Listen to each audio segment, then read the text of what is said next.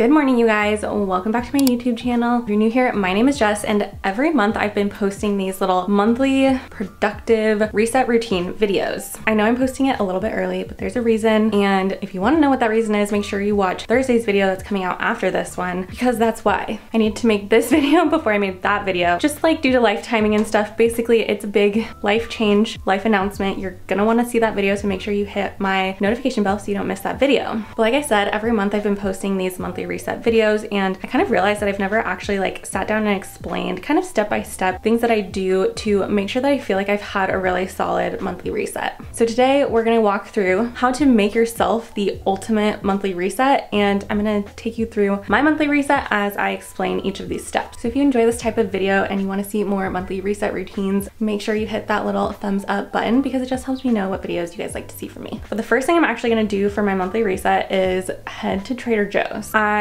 don't need to buy a lot of stuff from Trader Joe's, but I do need to buy a couple things. And I think that doing like a grocery restock, pantry restock, meal plan, meal prep, etc., is a really great way to kind of kick off a monthly reset actually. But I need to get going. It's already 10 a.m. and I need to kind of get some groceries before lunchtime. So let's head out to Trader Joe's.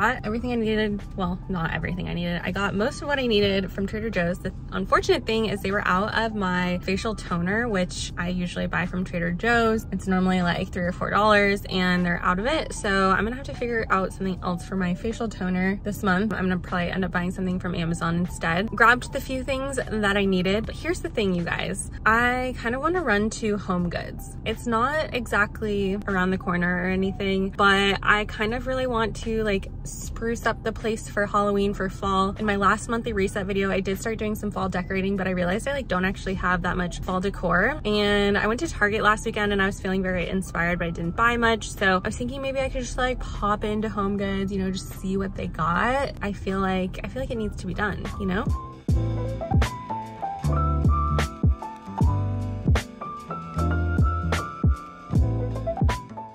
Really quick, here's what I got from Trader Joe's. I got these little, what are these even called? Foxtails? Lag dried lagurus. Lagurus? Thought would be cute in a little vase, but then I couldn't find a little vase at Home Goods. So we'll see what we do with those.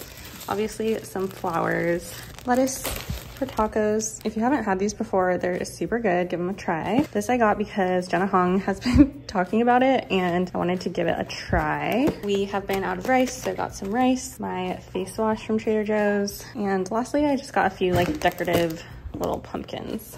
All right, now that I'm back home, step two of the monthly reset is to kind of like clean your space, organize your space, do whatever you need to do to your physical surrounding space to make it feel like a new month, to make it feel clean, organized, put together, all of those things. So I usually like to do a little to-do list with the top things that I really wanna prioritize. For me today, that's gonna be vacuuming, cleaning the bathrooms, and then putting up the Halloween decorations. So I'm gonna go ahead and get started on that. Do whatever you need to do to clean, get your space put together, tidied up, and feeling ready for the month ahead.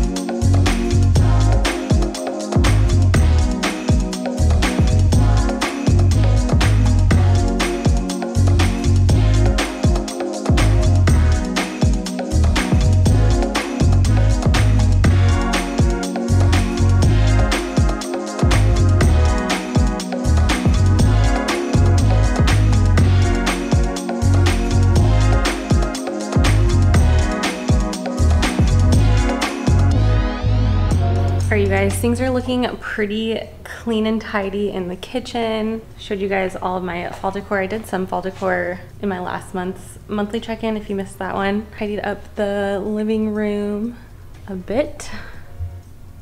So now I'm gonna go on to step number three, which is a journaling brain dump. So I like to get a little cozy and just sit down with my journal, write it all out, write out anything that like has been bothering me over the last month, anything that I've been feeling anxious about, anything that's going awesome in my life, just write it all out, put it on paper, and yeah, it's just a really nice way to like clear my mind, cleanse my soul. So we're gonna do that next.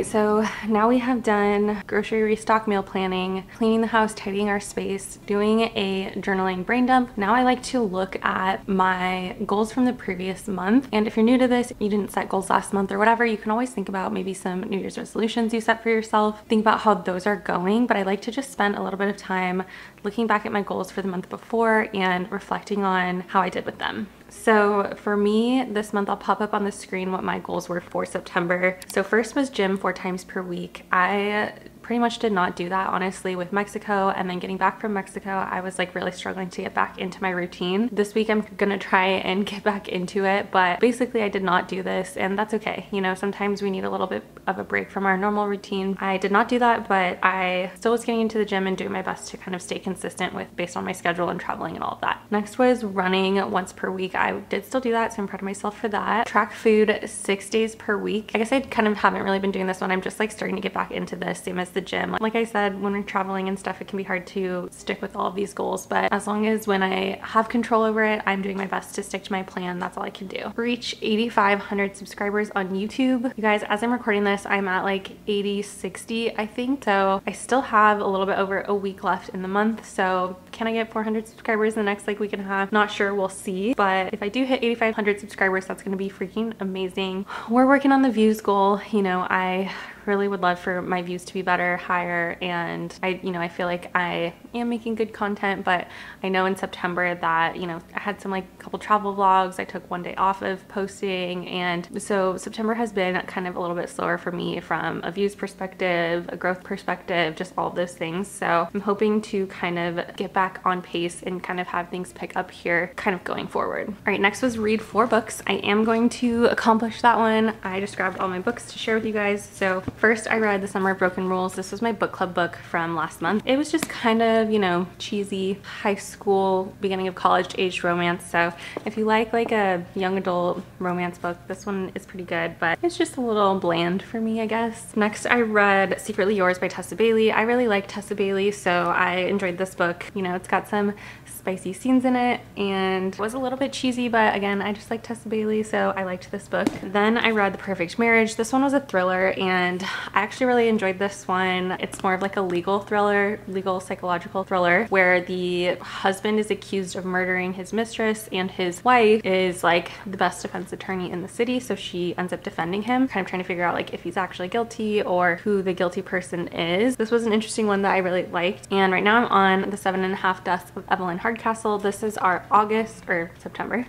September book club pick. So I do need to finish this by the end of the month. I am on page like 94, 95 and it's a little bit slow. It's kind of different from my typical like thriller books that I go for. It's kind of like set in, I don't know, 1900, a long time ago it's just different. Basically the main character like every day wakes up in a different person's body and he's trying to figure out like who the murderer is of Evelyn Hardcastle. So every day he's like waking up trying to figure this out and stop it basically. It's interesting, it's different. It's just also like I said, since it's written in a completely different time frame era. It's just not not my personal favorite, but I'm sure a lot of people out there would like this better. But yeah, so once I finish that, that'll be my fourth book for the month. Spend at least one day truly recharging, no YouTube editing, fully relaxed in Mexico. Honestly, I did that. I did not do any computer work or editing while I was in Mexico, so proud of myself for that. Get good sleep, be in bed by nine. I definitely have been a lot better about getting to bed early. I'm not actually waking up as early as I want to be and like getting my morning walks in, but I am getting to bed earlier. Getting, I'm getting lots of sleep.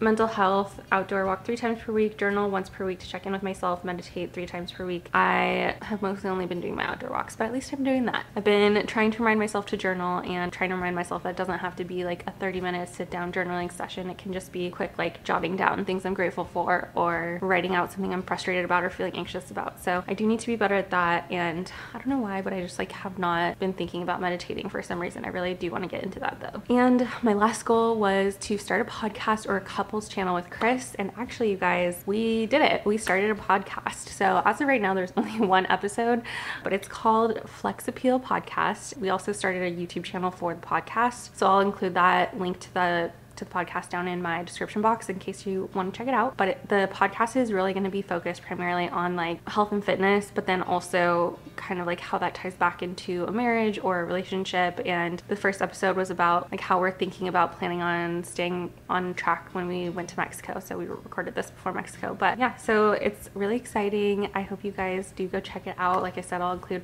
a link to the podcast YouTube channel down in my description box, and it's called Flex Appeal Podcast. So now that I've done my sort of reflecting on my goals. Now for step five of the ultimate monthly reset routine, I go through and like update my goals for any changes I want to make and goals that I have for the month going forward. All right, so first things first, obviously going to change this month to October. As I'm looking at my goals, I honestly didn't really feel like I needed to change very many of them. So I went ahead and kept the first three I updated my YouTube subscriber goal to 9,500 subscribers, which is absolutely crazy. We are approaching 10,000. I can't believe I'm saying that. Kept my reading goal, kept my spend at least one day recharging goal, get good sleep, kept that one. Mental health, I wanted to update journaling to just twice per month and meditating once per week, as I feel like those are just a little bit more realistic for me. Then I wanted to change, launch the podcast to record and upload at least one more episode so that we will finally have two episodes of our podcast live, maybe even three. And the last goal I wanted to set for myself was to actually book a weekend getaway for me and Chris. Maybe not in the month of October, but at least have it booked and something on the calendar, something on the books to kind of look forward to. All right, so step number six is to kind of review your budget, plan your budget, adjust things as necessary. I don't normally show this on my YouTube videos because I just don't feel like super comfortable sharing the ins and outs of my expenses, Chris's income, and stuff like that. But you should know that I am definitely every single month looking at our bills, making sure everything is paid on time, figuring out how much extra spending money we have and where we need to cut back and things like that. So I guess with this one, just like know that I'm doing it, but like I said, I don't feel super comfortable sharing it on YouTube. but with that being said, the next step is to update your calendar. So I actually have a calendar in my Notion page. I used Notion to kind of organize my entire life. I actually used Jenna Hong's template and I kind of made some tweaks to it obviously, but use that as like a starting point. So I'll link her video where she walks through her template down in my description box as well. But I am gonna go ahead and update my monthly calendar. So this weekend I have Shelby's bridal shower actually tonight. Sam and Teddy coming over for tacos. Something big is happening on the 24th, but you'll find out what's happening on the 24th in the video that comes out on Thursday. So make sure you hang tight for that video. We have book club, club the first week of October. We have Reed and Shelby's wedding on the 7th. Chris's dad is visiting the following weekend. We usually have a Halloween party, but I don't know if we're still gonna do that this year. I feel like that's everything I have in October for right now, which is kind of nice. There's not as much going on. We have Chris's sister's baby shower the second weekend in November. As of right now, I feel like that's like everything we have going on for the next like two months. So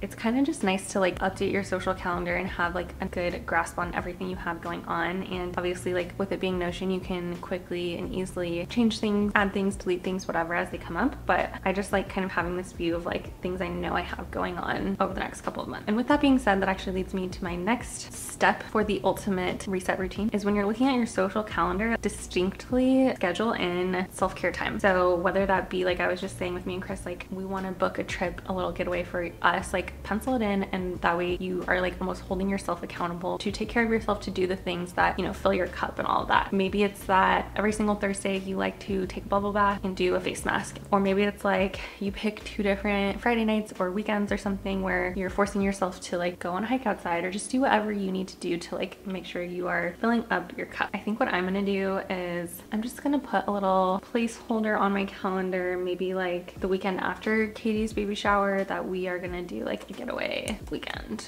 All right, so step number nine for the ultimate monthly reset routine. This is a new one for me. This is something I've never done before actually, is to pick a theme for the month. I thought that this would be a really fun thing to start adding into my routine every single month. So examples could be like friendship. I really wanna focus on my friendships, cultivating those, prioritizing those. It could be self-care, like that's the number one thing you're prioritizing. It could be patience because you wanna practice being more patient with your kids, whatever. So pick just like one kind of word. I wanna add this into my Notion, like right under where I set my monthly goals. The theme I think I wanna pick for myself is presence being present. And this will also tie into Thursday's video coming out after this one. I think you'll understand a little bit more as to why I want my word of the month for October and my theme to be being present. So I don't want to elaborate too much on that, but just know that I think that that's the kind of theme and word I'm picking for myself for October. All right, and the final thing I want you to do for your ultimate monthly reset routine is to do something that's like self-care. I love finishing off a reset day with like taking care of myself, being cozy, whatever that looks like. Sometimes for me, what I really want is like a walk outside.